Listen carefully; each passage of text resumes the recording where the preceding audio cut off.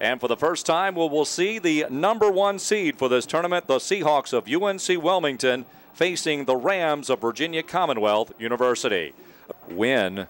McSwain was the first of five hurlers. There's the called strike as he breaks off a curveball on the outside corner for the strikeout. Here's the 2 1 pitch. Swung on, lined over Cujas into left field. And trotting in with the first run of the ball game will be Campbell. It's 1 0 UNCW.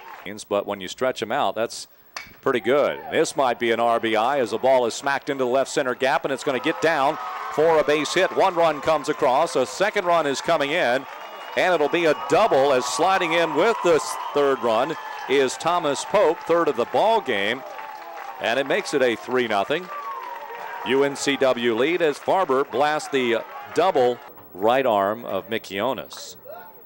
Swings and strokes it out to left field, and it is gone. A smooth swinging home run that time by Brent Mikionis for his sixth homer of the season, and he puts his team on the board. Rams now down just by a 3 to 1 margin. Campbell today, one for two.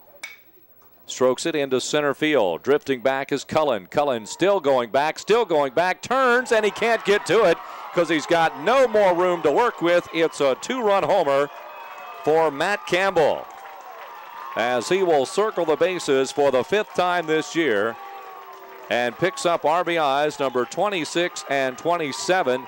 And he gives the Seahawks a 5 to 1 lead in the bottom of the fifth. Normally on this Tuesday in May. Ground ball to the second baseman, Bass. He flips to the short for one. The relay from Koenig to first, where Ridge is waiting for the putout.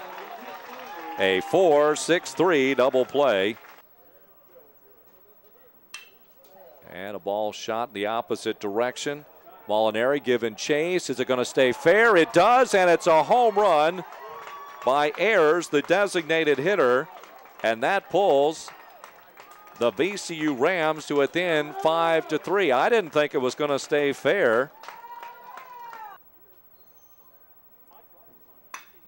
Line drive over the head of the third baseman. Another run will trot in. And the two that they gave up in the eighth, they get back in the bottom of the frame, does UNC Wilmington.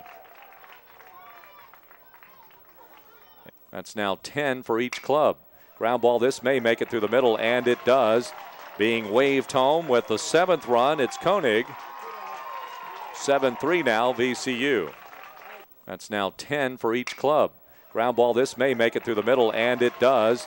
Being waved home, but is third of the event. That ball is well hit to left field. Pope will go back, reach up, and make the catch.